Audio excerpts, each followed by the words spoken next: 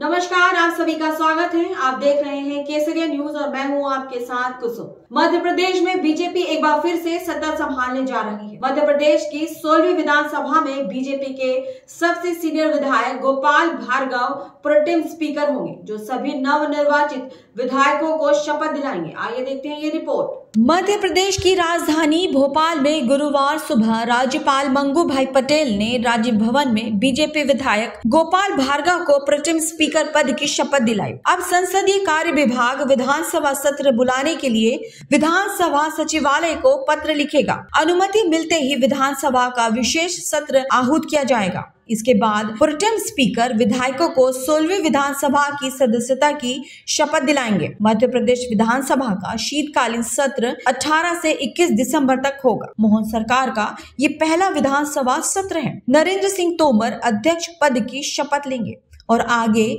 इस सत्र का वही संचालन करेंगे। इसके लिए अधिसूचना आज ही जारी होगी। देश दुनिया की तमाम खबरों के लिए बने रहिए हमारे साथ और देखते रहिए केसरिया न्यूज़।